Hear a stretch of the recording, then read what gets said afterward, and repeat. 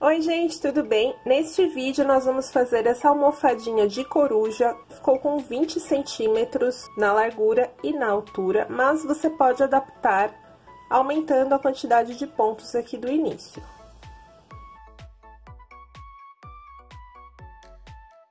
A lista de materiais completa eu vou deixar lá no blog e o link está na caixa de descrição. E lá no blog eu também coloco informações adicionais de todos os vídeos do canal. Se você quiser alguma receita em texto, eu tenho disponível lá na minha lojinha e o link também vou deixar aqui na caixa de descrição. Então, vamos ao passo a passo.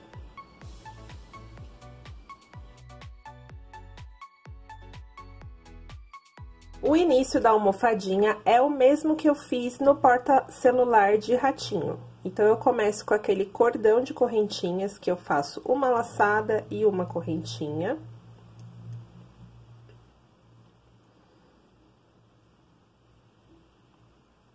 E nós vamos fazer 24 pontos desta forma.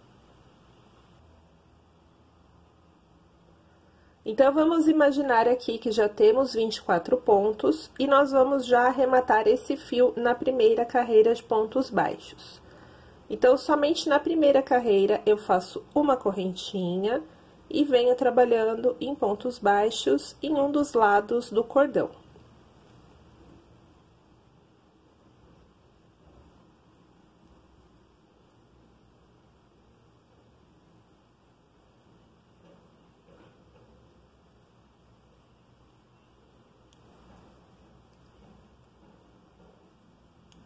Chegando no último ponto, eu trabalho ele de um dos lados, viro e volto trabalhando do outro lado.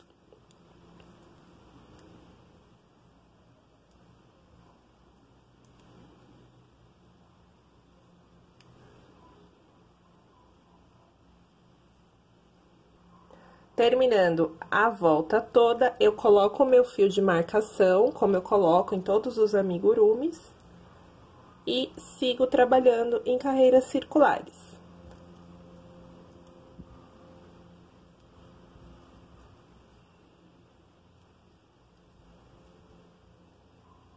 Para essa almofadinha de coruja, eu trabalhei por 22 carreiras, mas você pode medir também em centímetros quanto você tem na largura e trabalhar a mesma medida na altura. Vou começar com seis pontos baixos no anel mágico.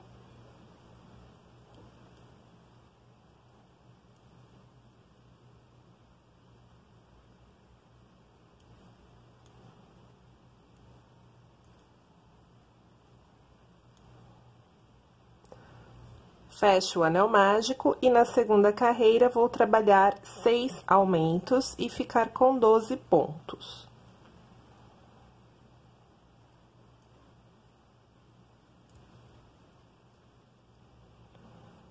Coloco o meu fio de marcação e na terceira carreira vou fazer um ponto e um aumento por seis vezes e vou ficar com 18 pontos. Então, eu faço o primeiro ponto sozinho e no segundo ponto, dois pontos no mesmo de base.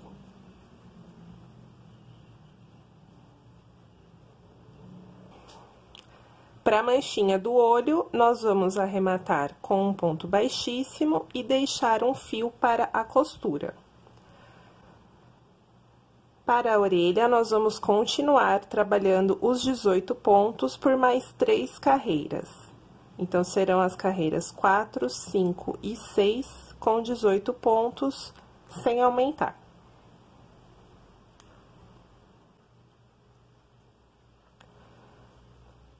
Terminada a sexta carreira com 18 pontos, nós vamos fazer na sétima carreira quatro pontos e uma diminuição por três vezes e vou ficar com 15 pontos.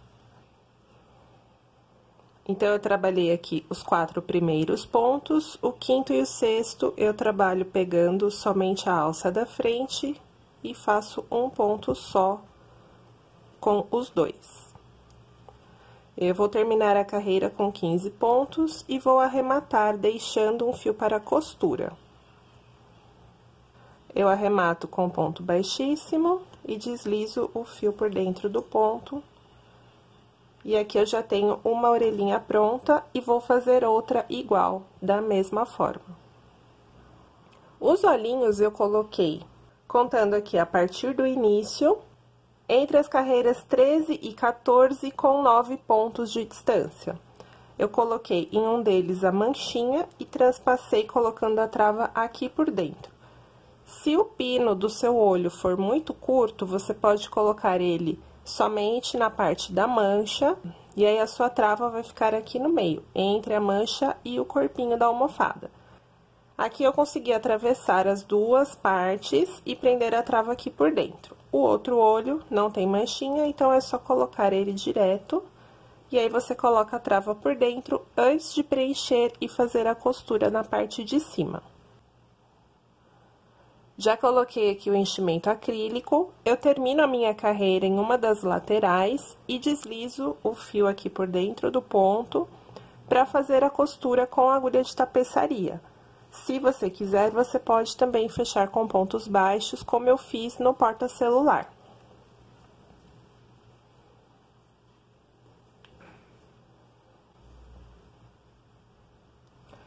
Eu estou costurando, pegando um ponto de cada lado, de dentro para fora, na alça de fora do ponto baixo da última carreira.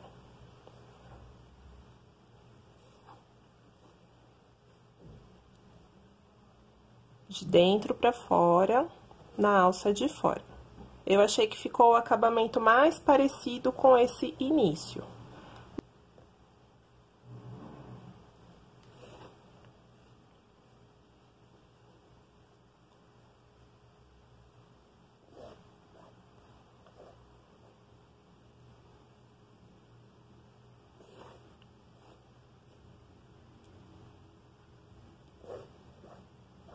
Chegando aqui no final da costura, eu passo aqui por dentro da última carreira de pontos. E jogo o fio pra dentro e depois vou arrematar ele junto com o fio da costura das orelhas. A montagem dessa almofadinha você pode transformar em vários bichinhos diferentes. Então, por exemplo, se você quiser um urso panda, você vai trabalhar metade dela em preto, metade em branco, Aí, você faz as duas manchinhas dos olhos na cor preta e vai costurar a orelhinha desta forma. Se você quiser um gatinho, você pode fazer exatamente como esse e costurar as duas orelhinhas aqui na parte de cima e vai ficar um gatinho. No meu caso, eu vou fazer a coruja, então, vou costurar aqui como se fossem duas asas na lateral e se você quiser perninhas também, você pode costurar aqui uma peça a mais, se você for fazer ursinho ou outros bichos. E o coelho também, você pode trabalhar mais carreiras. Naquela parte que a gente fez 18 pontos, você trabalha mais carreiras e faz orelhinhas de coelho. Então, a costura é igual eu costuro todas as peças de amigurumi, já tem vídeo aqui no canal ensinando detalhadamente. Não tem segredo, é da mesma forma que eu costuro todos os amigurumis, pegando um ponto na peça e um ponto na parte que você está costurando.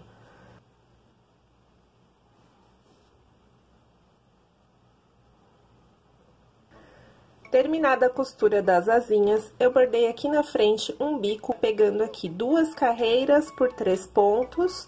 Eu fiz aquele triângulo e depois fiz alguns pontos e esse é o resultado final da nossa almofadinha de coruja. Lembrando que se você fizer essa peça, me marque nas redes sociais, arroba Ariane Tesourinha. Eu espero que vocês tenham gostado e até o próximo vídeo.